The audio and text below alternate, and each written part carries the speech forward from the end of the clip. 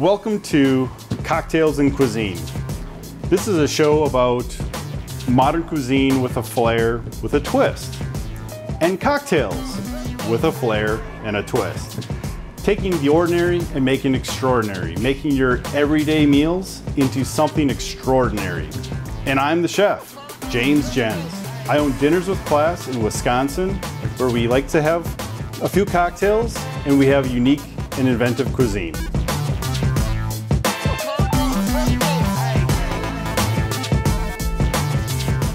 So the cocktail today, we're gonna do a smoked cinnamon rum cocktail. It's a great fall drink. To start, do equal parts of dark rum and light rum, your favorite of whatever. And then half a part of Pimm's number one. The Pimm's liqueur is a gin-based liqueur. To that, we're gonna add a little bit of reduced apple cider and an egg white.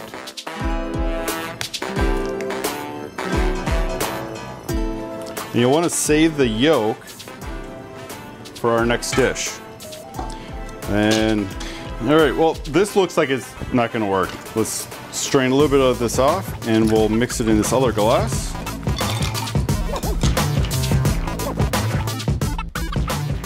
And you can strain it into your clean cocktail glass. And for a garnish, thin slice of apple. And if you want, you can char the cinnamon stick and float it in. Now we can start working on the dessert because that has to go in the oven, cool down, and be able to serve. So we might as well make use of our time properly.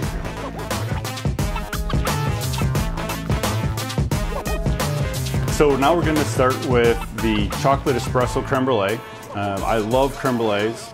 Uh, whenever my wife and I go out to dinner, I'm always a person that eggs on the servers to tell us, upsell us. I wanna be sold stuff. And my wife always knows if there is a creme brulee that has a fun flavor or is a unique twist, I'm ordering it, even if it looks like I'm full. So that's what we're gonna make. We're gonna separate five eggs. And we just need the yolks for right now. And I have the one yolk from our cocktail that we made. And we're starting with the uh, dessert first because it has to go in the oven and then it has to set up in the refrigerator before we can creme brulee it.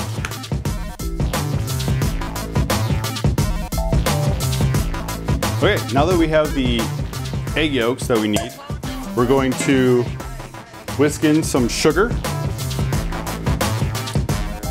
And make sure this is well incorporated, otherwise you'll have firm spots on the yolks.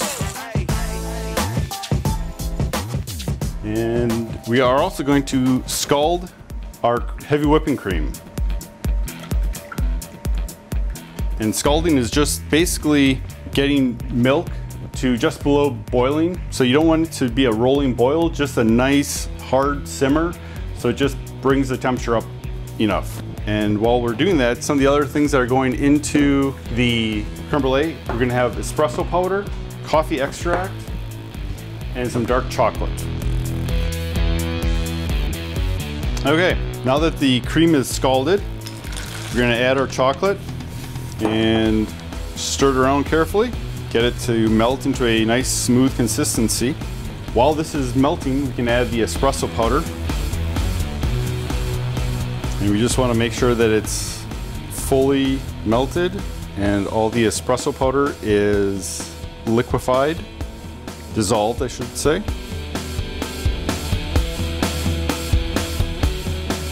Now that the espresso powder, the chocolate is all dissolved and, nice and smooth, we're going to add it to our egg and sugar mixture. We're gonna stir this while we add it so it doesn't cook the egg yolks. Get it all incorporated, scrape around the bottom and the sides of the bowl. And then I like to add just a few drops of coffee extract, and you do not need a lot unless you're an insane coffee person and need the coffee coffee flavor. Stir round. and now we can add it to our ramekins. Let me explain what's going on here. So I have a baking dish with four ramekins in, and we're going to cook them in a little bit of water in an oven for about 40 minutes at 275 degrees. Um, and you do that so it's a nice gentle heat so you don't um, curdle the eggs in the cream. This creme brulee literally means cooked cream. And it helps to have a baking dish that has a little bit higher sides than the ramekins, or if you have creme brulee dishes that come in different sizes, just so when you put the water in around, you do not have to be really, really super careful trying to get it in and out of the oven once they are set. Alrighty. Okay, now that we have the in their creme brulee dishes in a pan, we have some warm water, and we're going to fill it about half to three quarters of the way up the side of the creme brulee pans. This is where having a pan with higher sides is helpful. Those will cook about 40 minutes till they're just set. You don't want to have them like cake set where it doesn't jiggle. You actually kind of want it to be, since we're getting up onto Christmas, like the bowl full of jelly of Santa's belly. That kind of consistency where if you tap the sides, they still have like a jello-y look to them. So since we have 40 minutes there, we're gonna start on the pan roasted beef tenderloin appetizer with the vegetable jam and blue cheese.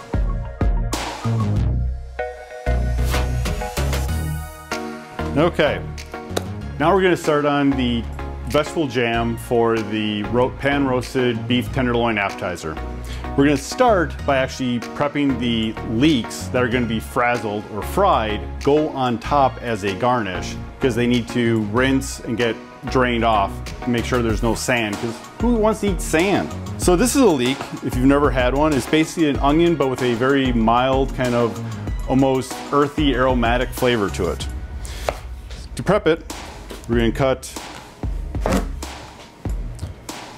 into, I don't know, two inch section, cut in half. And then we're just going to make julienne strips out of the leek. So one of the questions I get asked all the time when I do in-home dinner parties and cooking classes is, how do you cut so fast? And the easiest answer is, I've cut literally tons of vegetables in my life. But if you want to practice, hold the knife with your index and your thumb next to the bolster, which is this part of the blade, and rub the blade of the knife along your knuckle. That way, if your knuckle is touching the knife, your brain will know where your knife and your hand are, so it won't let you cut yourself. It's when you start going like this, that's when you start cutting yourself. Alrighty.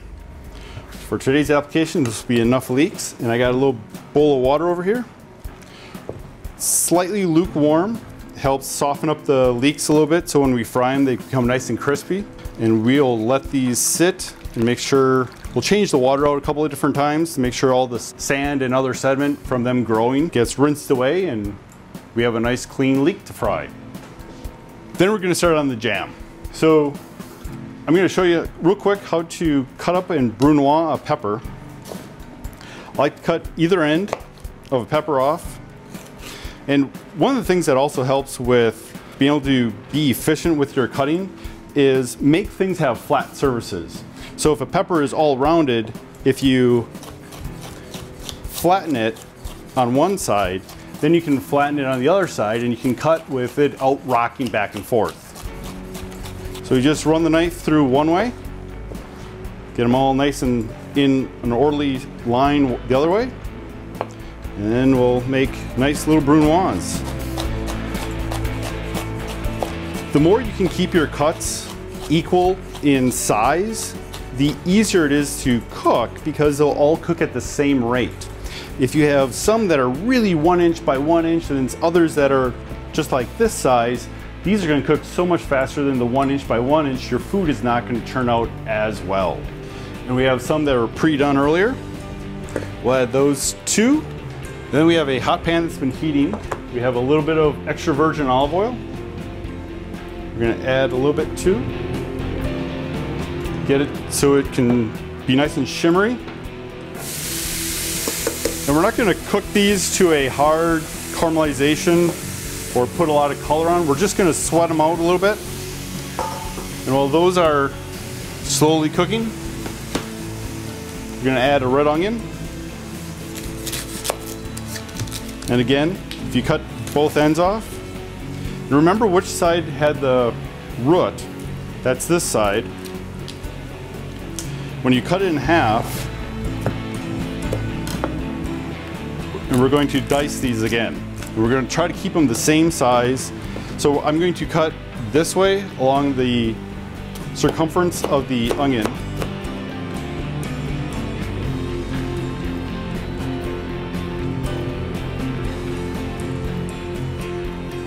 And then just that last little bit, we just need to clean up a little bit. And that is a Brunoise onion. Just gonna stir this around a little bit. So this is a dish that is kind of a culmination of all 20 some years of my cooking through different resorts and fine dining establishments throughout the country and the Caribbean where different chefs you work under have different traits and different aspects that they really kind of hone in on and, and and always kind of go back to and revert to when they write specials or menu items. And what I like about this is it takes jam, which everybody thinks of as a overly sweet dish, into a savory realm, which gives you a nice coating accent ingredient to a dish that you can make as spicy as you want or as savory as you want or roasted garlicky as you want. However you want to do it, you can play with it and make it your own. So we're gonna let this cook just a little bit. While we're waiting for that, we're also going to add a few cloves of roasted garlic. And here's another great little tip. Um, if you can get a whole bunch of peeled garlic, you can put them into a roasting pan with some extra virgin olive oil, leave it uncovered, put it into an oven about 300 degrees so they look like this nice kind of almondy toasted almondy color. And you can have then roasted garlic and the roasted garlic oil that you can use to flavor salad dressings or finish with dipping with bread or many other uses. Okay, while this is cooking, it's doing nicely. We're going to take some cherry tomatoes. We're gonna try to get the cherry tomatoes to be the same size.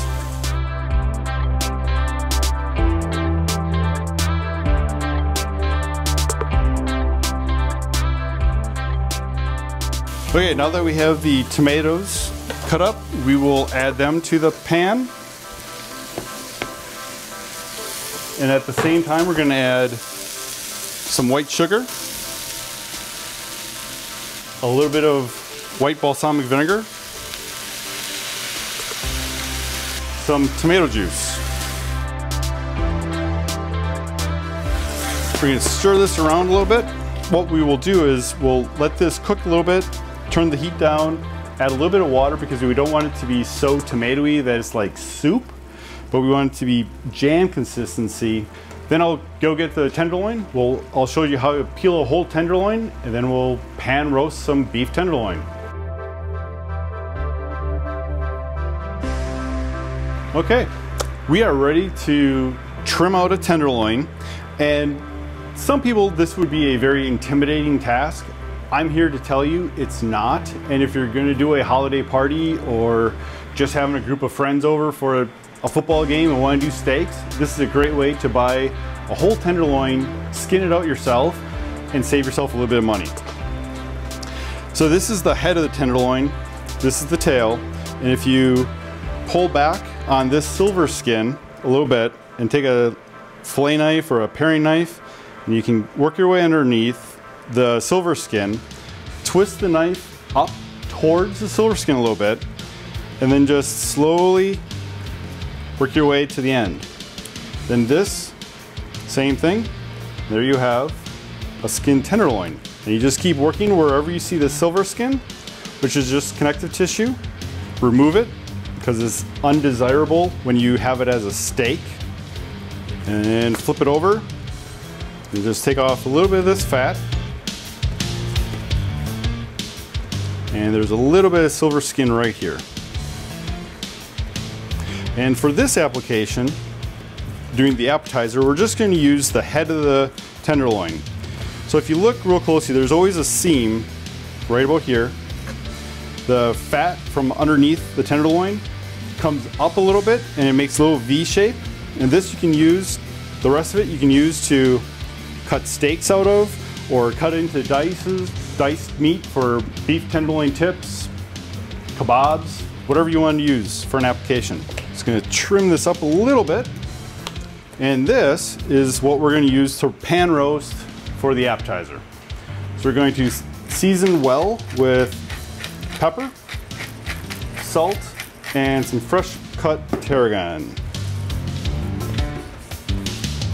And since we're just putting it right on the beef, it's okay to use the same cutting board.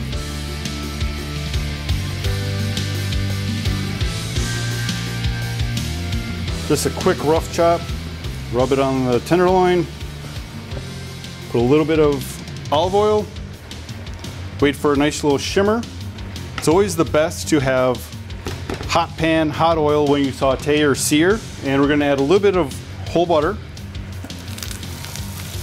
Let that melt a little bit. And we're gonna keep an eye on our jam over here. You can go ahead and add the tenderloin. And we're gonna let this really get a nice hard sear on all, all the sides um, to make sure it's nice and caramelized brown and we'll really be cooking it the whole way and we're gonna baste it with the juices that accumulate on the bottom of the pan. We'll baste it with those juices to finish the tenderloin all on the stove top.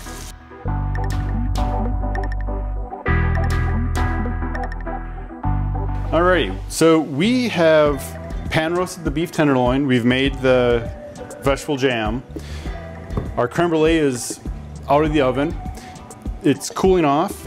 Um, so we're gonna set those all aside because we need to let the beef tenderloin rest. Otherwise, if we cut it right now, the blood and the juices are just gonna run away and we'll lose all that flavor that we worked so hard to sear into the beef tenderloin. So we'll put these to the back counter and work on our entree. And the entree is a prosciutto wrapped seared salmon. So again, like the tenderloin, you can save yourself a few dollars if you get a whole salmon and even if it has the skin on, it's very easy to take the skin off. If you have a long slicing knife or a chef's knife, as long as it's longer than the widest part of the salmon, you're good. Just cut down to where you see the skin, pull it back so it's nice and taut, hold the knife still and wiggle the skin back and forth and you can remove the skin. For our purposes, we're gonna try to get square medallion fillet pieces.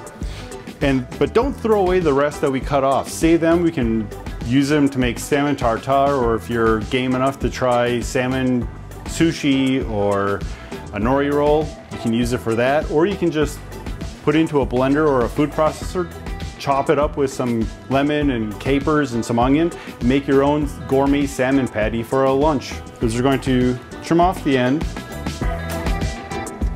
and we're going to try to get square pieces of really the back of the salmon because it's going to be the most the same thickness. And like the vegetables it'll cook more evenly than trying to have the belly piece along with the thicker backside. And we'll do two portions and again don't get rid of that use it for something to continue with the salmon entree we cut our salmon pieces. We have a, a saute pan preheating. We're gonna add a little bit of olive oil just so we can have enough that when we place the salmon wrapped in prosciutto in it, the prosciutto will get nice and crispy You want to try to keep the slices of prosciutto as big as possible. And what I find is helpful is to lay out the prosciutto on your cutting board first instead of trying to wrap it freehand or what a chef I used to work under called directing the food because you'd be working up here and not on the cutting board where it's stable, kind of like a maestro in an orchestra. And the other thing I like to do is do a couple, go one direction, and then turn the next couple so they're perpendicular. So you have a nice big square of prosciutto. And if you're big into Italian cooking, this is kind of an adaptation of saltimbocca, which is normally a white fish, and you normally have sage and parmesan, and we're just gonna do prosciutto and salmon. We're just gonna hit it with a little bit of pepper. And I don't wanna season it with salt at this point because the prosciutto has enough salt in it that it may just be seasoned enough We'll season the sauce that it goes with the salmon.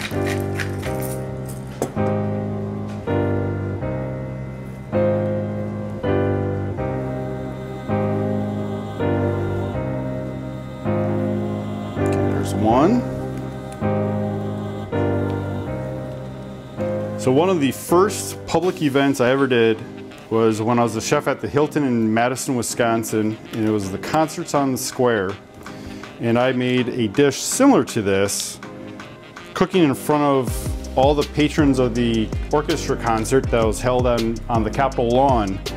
And this was kind of a similar dish that I we had that were frying and searing and we had many, many people stop by and ask us if we were nuts trying to cook out in front of everybody on the Capitol Square. But it was a fun time. And whenever you add anything to hot oil, make sure you touch it close to you and let it fall away from you. That way if any oil splatters, it doesn't splatter on you. And I like to also just put a little bit of pepper on top. Just to season the prosciutto a little bit. And we'll let this cook. And for the most part, we'll have this finished in the pan.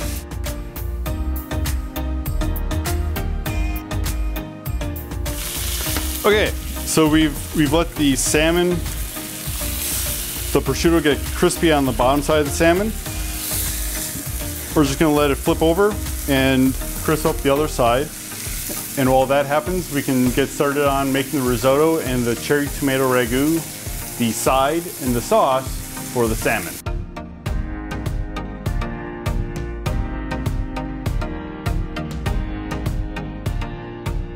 Okay, so we've put a hard caramelization onto the uh, prosciutto of the salmon. For the most part, they're 90% cooked. And we're just gonna set them aside and we're gonna use the same pan to make the cherry tomato ragu. All this caramelization on the bottom of the pan, that is what you work for. That's called fond. It's a base layer of all great sauces. And we're going to add a little bit of olive oil, just enough to kind of wet the bottom of the pan. And we're going to use maybe four or five tablespoons of butter and we'll let that melt. And while that is melting, we're gonna take the basil and we're gonna chiffonade it. Chiffonade means torn ribbons. So we're gonna roll up a bunch of leaves and then we're just gonna cross cut them in small little shards. And we can add the red onion and cherry tomatoes to the pan. We'll get them evenly distributed. And if you can try to get the cut side of the tomatoes down, that just helps caramelize the cherry tomatoes and give your sauce a nice richness with a little bit of sweet background. Then we're gonna turn this down to a simmer and just let it kind of slowly, the tomatoes will slowly melt away and become part of and make the sauce. We're gonna add the basil, and we're gonna add a little bit more basil at the end. And we're also going to mince some garlic. This is fresh garlic. I'm gonna smash it once, run it through with the knife a couple times. You know what, I like garlic. I'm gonna do two cloves. Call me crazy. And if you really wanna have the garlic not be in big chunks, once you get it to this, you can, if you lay your knife flat, put your palm on the tip of the knife, and you can work the knife backwards, and you can literally get it to be um, pureed. So it, when you add it to the sauce, it literally disappears. People won't even understand how they can taste all that garlic without seeing any big chunks. While that's going, we're going to get working on cooking the risotto. A couple tablespoons of butter, a little bit of olive oil, and we're going to use a little bit of leek. Since we had a whole leek, we're going to use some of it to flavor the risotto.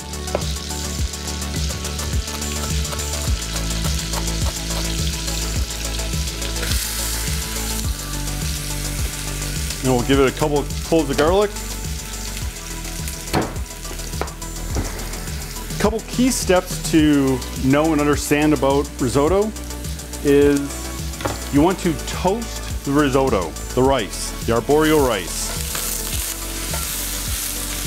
Arborio rice is different from like Uncle Ben's long grain white rice or brown rice or basmati in that it's a short, fat grained rice.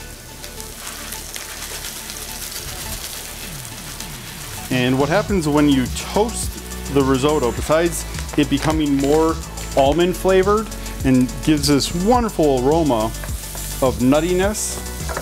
And I'm gonna go grab the chicken broth that is heating up.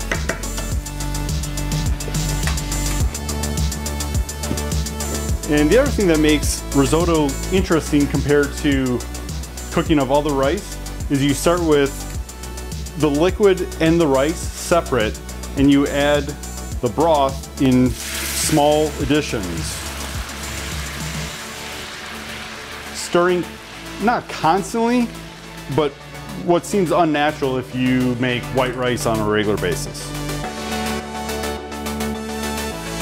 Okay, so we have the seared salmon with wrapped in prosciutto.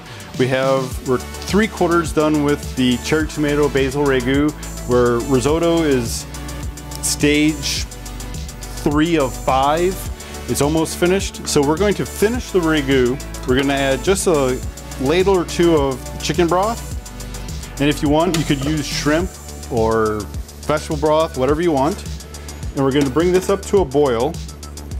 And then once it boils, we're just going to um, add some cold butter to give it some body and some nice thickness. We can go on to our risotto.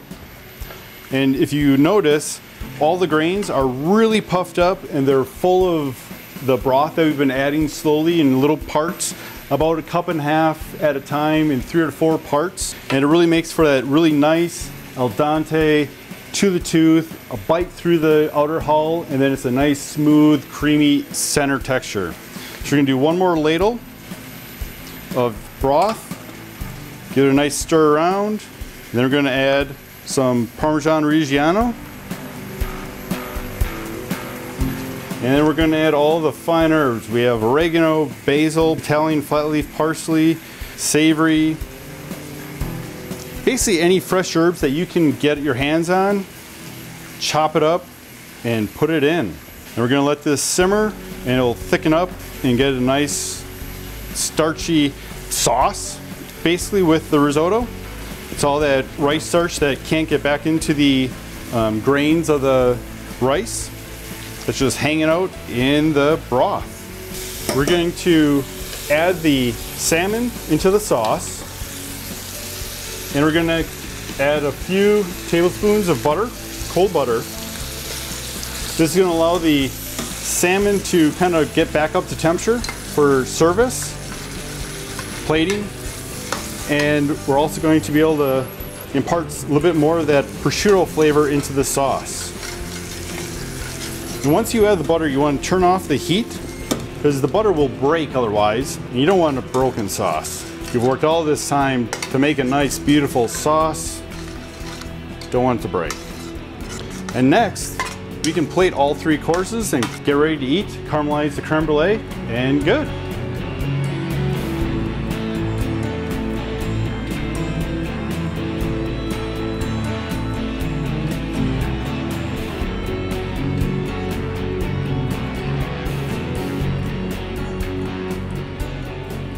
Okay, we're to the point in the program where we can start to plate. But before we do that, we need to finish brulee the creme brulees. So I have a, a unique little sugar mixture. I take brown sugar, light and dark, and equal parts of, so basically if I take a half cup of brown sugar, light, and a half cup of dark brown sugar, I take one cup of white sugar, and I blend it together and make a real fine mixed sugar out of it.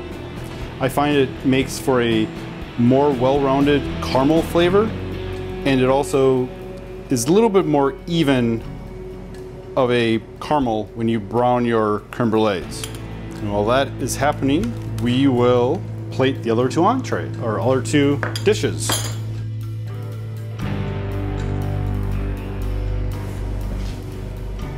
For the appetizer, we're gonna take our pan roasted tenderloin Do nice thin slices.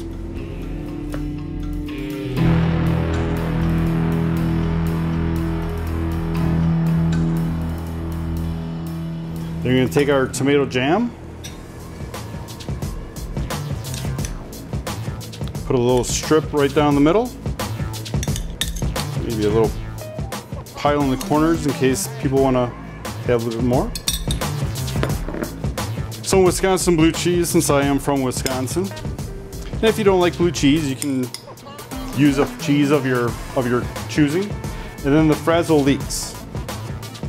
Just to give a little bit of crunch. There we go. And this is our appetizer. Next we'll plate the salmon entree. On our platter we'll give one last turn the risotto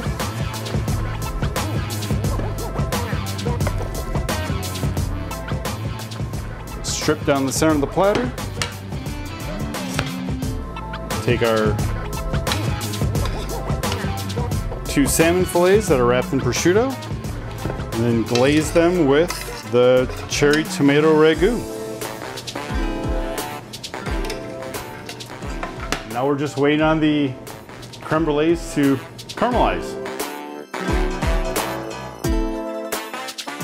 All right, we're gonna check on the creme brulees, make sure they have a nice caramelized top, and then we're good to eat.